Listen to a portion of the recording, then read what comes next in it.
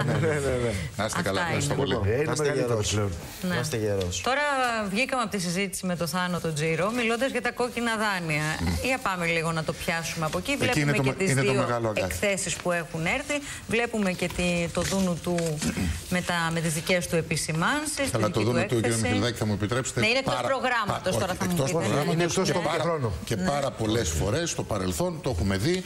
Το αναγνωρίζουν και οι Ευρωπαίοι εταίροι μας ότι είχαν κάνει μεγάλα λάθη, όχι απλά λάθη, μεγάλα λάθη στις προβλέψεις Συγγνώμη, αφήστε τα είχαν. λάθη. τι μιλάει το δούνο του τώρα. Γιατί μιλάει χωρίς να έχει ρόλο, αλλά πώς να το κάνουμε τώρα. Δημιουργεί ένα κλίμα. Γιατί μπορεί να μην παίζει ρόλο στα δικά μας πράγματα, αλλά όταν σου λέει Εγώ βλέπω τέταρτο μνημόνιο, ε, αυτό, αυτό αφήνει να θεωρείται. Αυτή Δημιουργεί είναι μια η τίτλη. κατάσταση. Θα μπορούσε, Αυτή είναι θα η μπορού- τίτλη των εφημερίδων θα τώρα, μπορούσε να φυσικά. παίξει ένα ρόλο εφόσον και οι οίκοι αξιολόγησης ε, λάμβαναν σοβαρότερα υπόψη αυτά τα οποία λέει. Έχουμε δει ότι δεν το, δεν το, κα- δεν το πράττουν αυτό. Ε, Αλήθεια είναι αυτό, γιατί χθες, να δώσω και την είδηση, το, παρά το γεγονός ότι ήρθε αυτή η έκθεση με τα 10 σημεία του Δούνου Τούτου, η οποία είναι για γέλια πλέον. Ακριβώς. ναι. Για Ακριβώς γι' κλάματα αυτό. είναι, Νικό, είναι για για γέλια είναι κλάματα. πλέον. Ναι, για γέλια. Μαζί ήμουν. Ε, το ομόλογο έπεσε χθες. Από 3,90 που ήταν πήγε 3,85. Ακριβώς Το αυτό σας δεκαετές. λέω. Δηλαδή, ε, παλαιότερες εποχές που δεν είχαμε κι εμείς αν συνταχθεί, δεν είχαμε ε, ένα ξεκάθαρο πρόσημο στο που πήγαινε η οικονομία, ε, υπήρχε οπωσδήποτε μια επιρροή στι Ναι. στις αγορές γενικότερα. Αλλά να μην κάνουμε συγγνώμη ότι δεν βλέπουμε, γιατί εμείς το καμιλίζουμε και βρεθούμε πάλι εκεί που ξεκινήσαμε. Εκεί, Υπάρχουν σε- προφανώς κάποιες δυνάμεις. Σε καμία των Κάποιες περιπτώσεων. δυνάμεις Ναι. που ονειρεύονται να ξαναδούν την Ελλάδα στην ίδια κατάσταση. Καλά, εντάξει, ίσως Έτσι. είναι, ίσως είναι και ο ευρύτερος ρόλος του Διεθνούς Νομισματικού Ταμείου. Έτσι. για, καλό, για καλό δεν βλέπουμε μπλοκή του Διεθνούς Νομισματικού Ταμείου. Είναι και η υφή της όλης δομής που έχει αυτός ο Κύριε Μιχάλη, οργανισμός. αν επιστρέψουμε Αλλά τώρα σε στα κόκκινα δεν, δάνεια. δεν μπορούμε να επιστρέψουμε σε παλιές κακές εποχές για να κλείσω αυτό το οποίο λέτε. Ε, σε Τώρα αυτό στα- που ε, έχει φανεί ότι είναι ένα αγκάθι που είναι ακόμη υποδιαπραγμάτευση μέχρι να οριστικοποιηθούν τα όσα ζητούν, αν είναι τεχνικές οι λεπτομέρειες, ή αν υπάρχουν σοβαρές αντιρρήσεις από τους ε, θεσμούς, γιατί επιμένουν ότι δεν πρέπει να μπουν μέσα οι κακοπληρωτές. Προσέξτε, ε, δεν είναι απλά οι κακοπληρωτές. Ε, εδώ έχουν ένα δίκιο, αλλά θα πρέπει επιτέλους να σταθμίσουμε πού είναι η χρυσή τομή. Αυτή τη στιγμή θα είχε κλείσει το θέμα των μη εξυπηρετούμενων δανείων. Το αγκάθι το μεγάλο είναι τα επιχειρηματικά δάνεια, Τα ενυπόθηκα. ακριβώς, Ναι. ε, στα οποία φοβούνται πλέον οι θεσμοί, οι Ευρωπαίοι εταίροι, ότι μπορεί να ξεχυλώσει το θέμα εφόσον προχωρήσει με την πρόταση την οποία έχει κάνει η δική μας πλευρά. Εδώ πρέπει να δούμε ποια είναι αυτά τα δάνεια, γιατί θα εξαιρέσουμε το έχω πει επανειλημμένω από το βήμα το δικό σας εδώ στην εκπομπή σας, σχετικά με τους στρατηγικούς μπαταξίδες, με τους στρατηγικούς κακοπληρωτές. Αυτό ήταν ένα θέμα το οποίο θα έπρεπε οι τράπεζες εδώ και πολύ μεγάλο χρονικό διάστημα να, είτε- να είχαν πάρει από μόνες τους την πρωτοβουλία, έτσι ώστε να παταχθεί αυτό το φαινόμενο. Εδώ όμως στην ουσία μιλάμε για 48.000 περίπου μικρούς ε, επιχειρηματίες οι οποίοι οφείλουν, οφείλουν ένα συνολικό ποσό της τάξης των 2,678 Πόσο; 2 δις 678 ε, εκατομμύρια ευρώ. Εκεί είναι το μεγάλο αγκάθι και εκεί είναι που πρέπει πραγματικά να ενσκύψουμε όλοι ώστε να βρεθεί μια λύση. Στο να προστατεύσουμε εμείς τους στρατηγικούς μπαταξίδες με αυτή την έννοια την οποία όλοι γνωρίζουμε και εμπολής και ονοματολογικά για ποιους αναφερόμαστε, σε καμία του περιπτώσεων δεν πρέπει να υπάρχει καμία προστασία. Αυτό είναι ξεκάθαρο. Αλλά πρέπει αυτόν τον επιχειρηματία, ο οποίος ξεκίνησε με ένα όραμα το 2005, το 2006, το 2007, υποθήκευσε το μόνο του περιουσιακό στοιχείο. Το σπίτι του, Το το σπίτι του. κατοικία. Προκειμένου να υλοποιήσει αυτό το όραμα, αλλά βρέθηκε στη δίνη της κρίσης και έχασε αυγά και πασχάλια, έβαλε λουκέτο, έμειναν και οι τρει-τέσσερι εργαζόμενοι οι οποίοι είχαν εκτός ε, θέσεων εργασίας, εκεί πρέπει να υπάρχει ένας τρόπος προστασίας. Οι- Αυτό δεν το αντιλαμβάνονται. Δεν έχουν- το αντιλαμβάνονται αντιλαμβάνονται. η άλλη Απλά τα όρια, τα περιθώρια τα οποία θα τεθούν είναι υπό διαπραγμάτευση και νομίζω εκεί υπάρχει και όλη η Για εξήγησε καθυστέρηση. το λίγο παραπάνω αυτό. Γιατί αν το αντιλαμβάνονται και βάζουν όρια στο πού θα τεθούν τα όρια, εσείς μόνος σας δώσατε το μέγεθος των παταξίδων και τι πρέπει να γίνει και πώς πρέπει να το φτιάξουν. Αν το αντιλαμβάνονται, τότε μας παίζουν παιχνίδι, κύριε. Ναι, αλλά ξέρετε, δεν βλέπω, να, δεν, δεν βλέπω οι εταίροι να παίρνουν και κάποιες συγκεκριμένες πρωτοβουλίες για θέματα και ονόματα επιχειρηματιών που γνωρίζουν και γνωρίζουν και το μέγεθος ε, των ε, δανείων, των Αυτοί δεν κόκκινων ζητούν ένα δανείων. αυστηρότερο πλαίσιο ώστε να πιάσουμε το Κοιτάξτε, Μερτζάνι, το- το το αυστηρο- Μπαταξί, έτσι. Θέλουν οι επιφυλάξεις, οι επιφυλάξεις που σε τι συνιστάται. Το όριο των ε, ε, δηλώσεων που κάνουν οι μικροί αυτοί επιχειρηματίες είναι πολύ μικρό. Δηλαδή σε αυτή, σε αυτή την κατηγορία που αναφέρθηκα των 48.000 ναι, ναι, ναι, ναι. περίπου είναι κατά μέσο όρο 7.000 ε, εισόδημα το κατέτος. Είναι μικρό, είναι ένα μικρό αγκάθι αυτό, μην κρυβόμαστε πίσω από το δάχτυλό μας. Σε κάθε περίπτωση όμως, αυτό το οποίο έχει ζητηθεί από την ελληνική πλευρά είναι ε, να μην υπερβαίνει το, ε, το ποσό της ε, αξίας του ακινήτου ε, το 200% του, της δανειακής υποχρέωσης έρχονται οι Ευρωπαίοι εταίροι και ζητούν το 50%. Είναι μια αρκετά μεγάλη απόσταση, Αλλά νομίζω ότι κάπου στη μέση θα, θα μπορεί να, να Κάπου στη μέση πιάνει κόσμο πολύ ή θα μείνουν απ' έξω πάρα πολλοί άνθρωποι; Όχι. Θα, νομίζω ότι θα καλύψει ένα αρκετά μεγάλο, ε, ένα αρκετά μεγάλο μέρος. Κοιτάξτε, ε, στρατηγικοί μπαταξίδες είπαμε, γνωρίζουμε ποιοι είναι, σε ό,τι αφορά τους μεγάλους αριθμούς, τα μεγάλα δάνεια. Υπάρχουν και κάποιοι οι οποίοι εντάσσονται και κρύβονται πίσω από τον νόμο Κατσέλη όλα αυτά τα χρόνια. Αλλά είναι πολύ μικρός αυτός ο αριθμός και δεν μπορεί χάρη αυτού του μικρού ποσοστού να την πληρώσουν άνθρωποι οι οποίοι πραγματικά είχαν ξεκινήσει με ένα θετικό όραμα και σωστή. Λέτε για τον νόμο Κατσέλη και η, κυρία, η ίδια η κυρία Κατσέλη έδωσε μια συνέντευξη χθες. Και μέσα έτσι από, από όσα είπε σχετικά με τις τράπεζες και τα κόκκινα δάνεια, διαβάζω εδώ έχει αφαιθεί το ζήτημα εδώ και πολύ καιρό στη Βούλη των Τραπεζών και η ίδια η κυβέρνηση εδώ και ένα χρόνο έπρεπε να πάρει αποφάσεις προς αυτή την κατεύθυνση. Έχει αργήσει αυτή η ρύθμιση.